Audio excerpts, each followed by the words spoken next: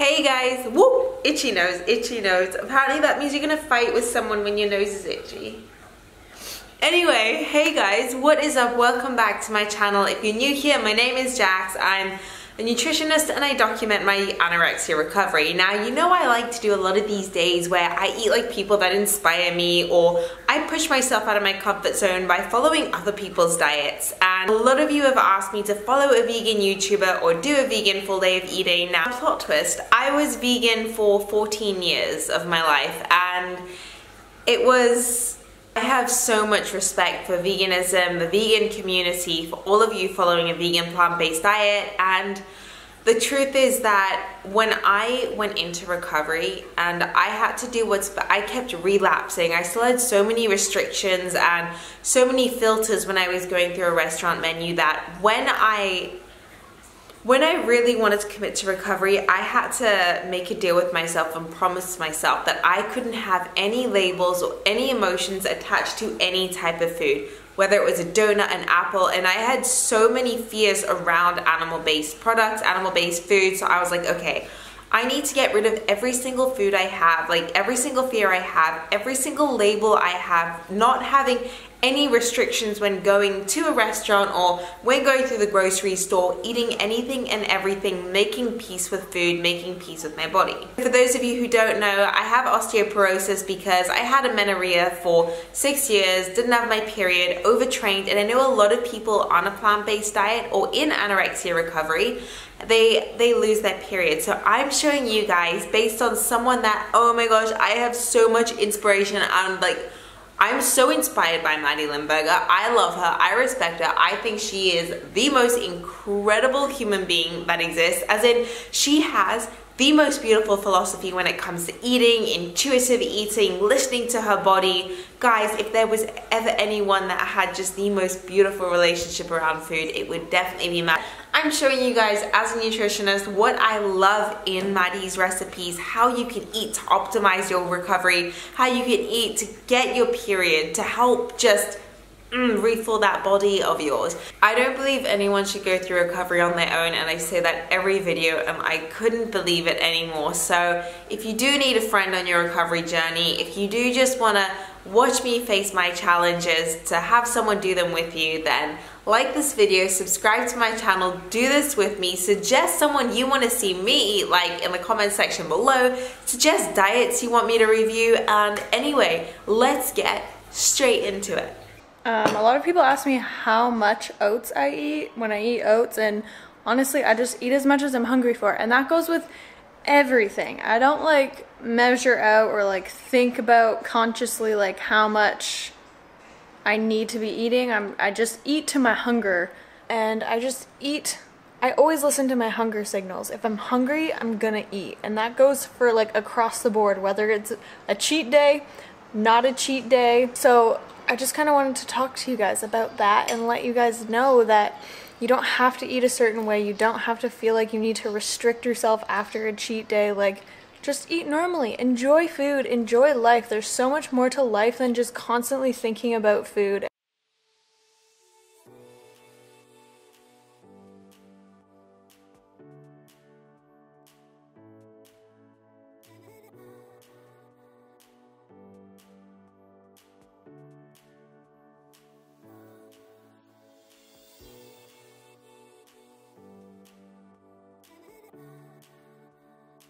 Okay, so if any of you guys are Maddie fans, you will know she is obsessed with oats, as in it's genuinely her favorite dish. So I love that she's obsessed with that. I made this peanut butter and banana with chocolate protein powder. And well, anyway, I would have listed the ingredients anyways. But yeah, oats is still something that I struggle with every now and then, but it's so good for you. Mmm.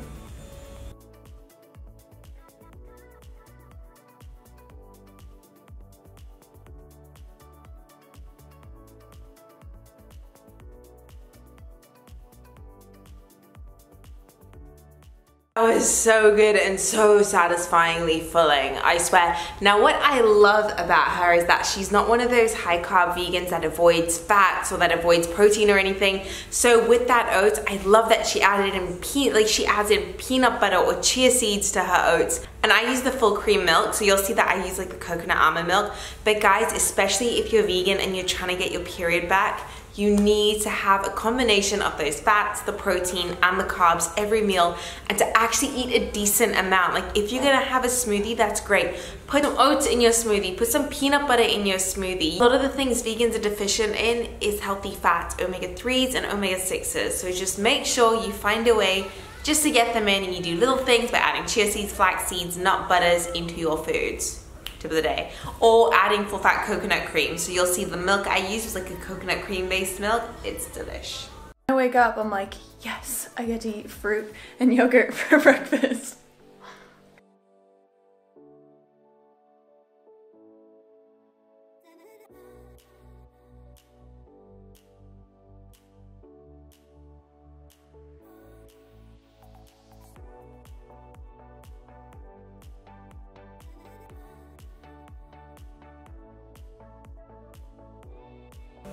Okay, so I'm all nice and showered. By the way, so my nail polish was chipping, and I don't know if you guys are like this, but if I see one chip on my manicure, I gotta peel the whole thing off. So that was a bit of a fail on my side, so I painted it off, and hence the reason my nail color has changed.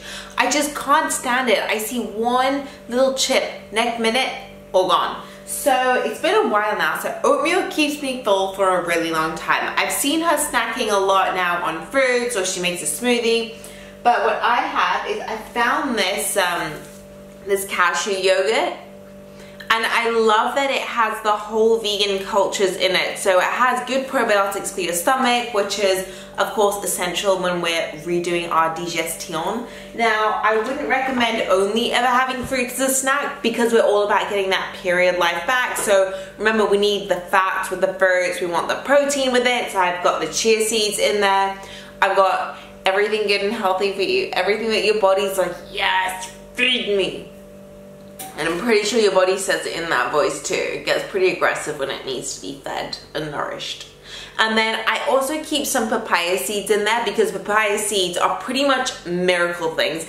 They have natural digestive enzymes. Like a lot of the time in the pharmacy, you'll go to the digestive system and you'll see natural pine, like papaya seed extract. And that that guys that is anti-parasitic. If you have parasites in your stomach anything I always say have some papaya or pawpaw. Like I call it pawpaw but most people call it papaya. And then I have some pomegranate seeds in there. Again those are a really good source of antioxidants and vi like vital. Uh, they're a really good source of antioxidants and iron. So only they're going to help you with your whole blood count but what they're actually going to do is they're going to prevent further damage. Like antioxidants are just like time machines. You know what I'm saying? So I'm going to go eat that.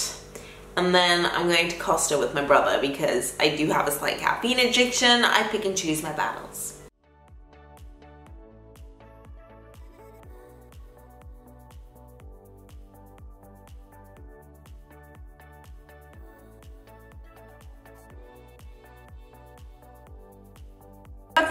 A snack because I saw in one of her vlogs in Bali recently, like this year, she had like a big thing of pineapple with some yogurt on top. My body does not like pineapple. I break out in acne all over my face.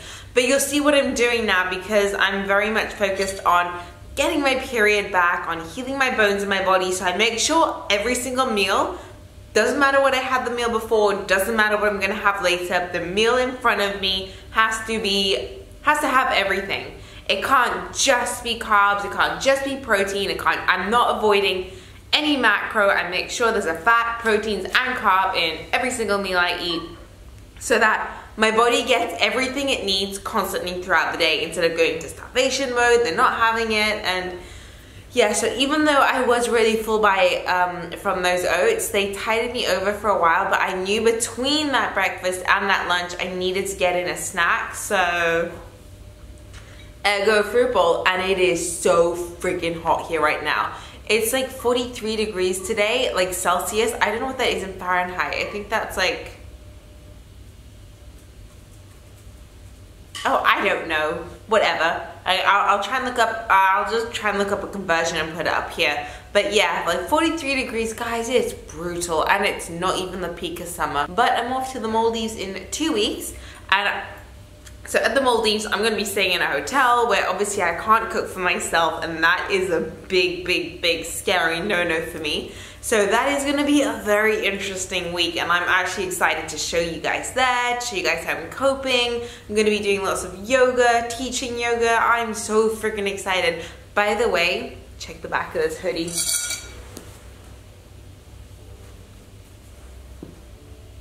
That's my name. You know you're cool when you have your name on a hoodie. Doesn't mean you're cool.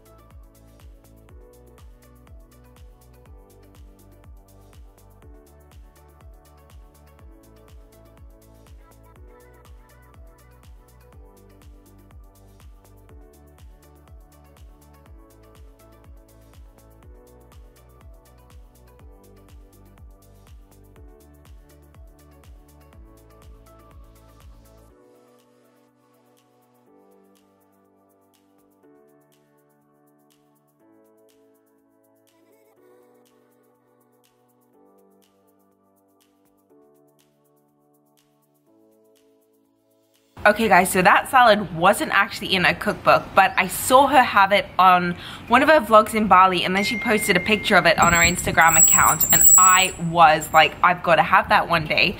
And it's one of those things you pin and you put on your Pinterest board, but you never get around to actually making it. So like, when I was going through recipes for today, I was like, you know what, this, excuse me, I'm talking to my friends. So that was absolutely incredible. So I did my own little spin on it. That hummus dressing with the falafel, I can't tell you what that did to my soul. That spoke to a part of my soul that that hasn't been touched in a while, you know? Well, since nitro ice cream. And the thing I used to only do is I used to only dress salads or like massage balsamic into kale, like balsamic vinegar or apple cider vinegar. But the fact that I actually used tahini and the hummus, like I made something that I would suggest to other people to have. And massaging it in the kale makes it easier for your tummy to break down if you're like this biscuit and you struggle with digestion. And that, like I said, that was absolutely freaking incredible. So easy to put together. It took me like literally two minutes. So in that, I had the golden Yukon potato that I had sliced and baked. Hold on, let me go through this in my mind. The golden Yukon potato that I had sliced and baked. I had the beetroot, I had the hummus and tahini dressing, the falafel bowls, the, wait, I'm forgetting something. Yeah, no shit, Jax. I had the avocado slice on toast because I just wanted to add more carbs into the meal and I love smashed avo on toast. Some people have that as the main meal of themselves, but I was like, no, no, no, no, no. And the whole point of today was I wanted to make really hearty, satisfying meals, like not like lettuce on a bed. You know what I'm saying? Like I wanted to bulk that. That car sounds very aggressive. Anyway, I'm feeling I'm so full, I swear to God, after the combination of the oatmeal with the yogurts, with the toast, I always, I, I have a large capacity of a stomach, but I'm struffing right now. And anyway, I'm probably gonna have a snack before dinner, din din, as we like to call it as of now. But I'm, I think, I don't know what I'm gonna do for my afternoon snack, but I know what I'm doing for dinner. So I've seen her do this in like a couple of her vlogs and I have her ebook. It's on her ebook and her website. So I'm gonna link the, link the link below. I'm gonna put the link down to the recipe below. And it's her like sweet potato peanut stew. Now, you guys know I measure out peanut butter. I'm terrified of peanut butter. Peanut butter is something that was always very scary to me, but it's such a beautiful, healthy, good for you condiment that we just gonna just use peanut stew and I'm so excited. You know, it's healthy in fats, healthy in protein. It keeps you full, but again, it's got the omega-3, omega-6s, anti-inflammatory acids that you need. It's got oleic acid, so it helps you with your skin, with your, guys, everything, regrowing hair. Like, you know, when our hair falls out a lot in recovery, women if like ladies you don't want to lose your period you don't want to avoid the fats and the carbs so you got to have the things like the things that scare us the most i suppose. I think we're okay with protein but fats and carbs have been vilified by two separate markets. It's like a lot of the plant-based things had vilified fats and then a lot of the keto people had vilified carbs. And you know what, it's just, you become scared of absolutely everything. So my challenge to you is add something of each to every single meal you have. As you saw me do then with the breads, with the potatoes, with the tahini, with the hummus, with the falafel. Just make sure every single meal in front of you balance. I had, wait, who is it that used to say that? Oh my gosh, one of my uni professors. He always used to say, it's all about balance, balance. He was like Swiss, Austrian, balance. Guys, and I want you to say that to yourself every single meal. It's got to be balanced. So says Jax. I'ma see you for next snack. Why'd you have to go and drive me so crazy? Now I'm feeling lost without you and I just can't be Okay, so favorite time of the day, scariest time of the day, I don't know what to say about it, but it is snack time. Now, I used to use, when I was vegan, I used to use it as an excuse to only eat healthy foods, to only eat salads, to only snack on things like celery, but no, you've got to be someone that can still have treat fun food. So what I've got here is, it's a Loving Earth chocolate spread. It's a coconut chocolate spread that's got coconut butter in it, cacao butter, just all that fun stuff. And so like, it, it, doesn't mean you can't have a Nutella sandwich anymore. It doesn't mean, oh, you should only opt for the veggie snack. Life is all about balance. Now I saw in a video of hers, she was eating a, um, she was eating a peanut butter and jelly sandwich, but I didn't want to show you guys peanut butter like three times in a day. I wanted to show you, you guys like variations, fun ways so that you don't feel that you're only stuck eating like a rabbit. So comforting.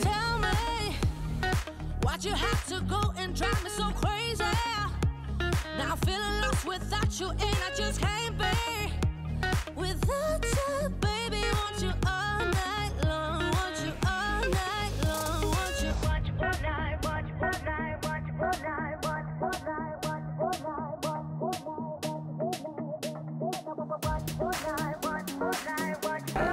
during the whole time I was vegan, I would have never touched anything like that because I was just so obsessive about that whole raw mindset. It can only be fruits or vegetables that go into my body, no fats, no nothing like that. I was so scared of comforting treats. I, I, was terrified of it. And so that's something to ask yourself in your recovery a lot as well. Are you choosing to go for the celery and hummus? But you have these options. You can have these chocolate sandwiches. You can have a peanut butter sandwich as a snack. A snack doesn't have to only be, you know, because a lot of that, um, the uncontrollable hunger and the extreme hunger comes from mental deprivation. So you can be eating loads of healthy, clean foods, but if you're depriving yourself of the feel-good foods, then you're gonna have that mental hunger. You're gonna have that extreme hunger. And I love that with Maddie, she'll go to a bar, she'll try all these raw, fun vegan treats, these cheesecakes. She'll have a milkshake for breakfast. She'll have a burger for breakfast. And so she has that beautiful, healthy mindset with, with her body, with her food, and that's something that I like I wanted to show in this video. So not just the clean, nice bowls, but also something that's fun and satisfying and comforting. That's it. I have been craving and wanting to make my sweet potato peanut stew from my first ebook, What I Eat for Life.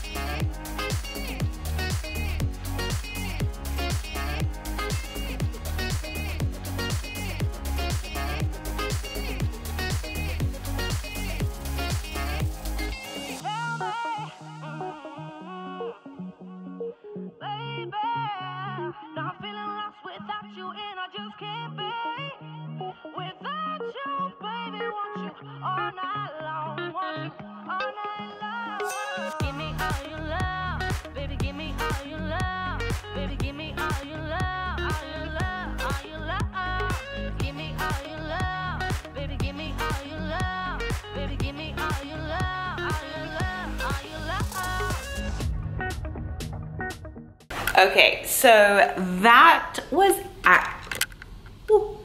Okay, so that was actually an experience. I wasn't so sure about adding that much peanut butter to it, and I was like, should I skimp on the recipe? But that was absolutely friggin' incredible. And my whole goal was today to try and not have any vegan salads in the recipes because I think that's the stereotype most people go to. So I love that with all of her recipes, they are comforting, they're like super hearty and exactly like comfort food type of meals, which was really, really, really exciting. But that fills you up. Oh my goodness, those are some lethal combinations, but it also shows you you're not always gonna be starving if you're eating foods like that or if you're following a vegan diet. But anyway, it was absolutely incredible. I hope you guys like this. I might eat something sweet. I do have some Loving Earth in the chocolate. I don't usually see her having sweet treats, but I genuinely cannot go to bed without eating something sweet. So anyway, I hope you did enjoy this video. If you did, give it a thumbs up. Don't forget to hit the subscribe button down below and I will see you in my next video.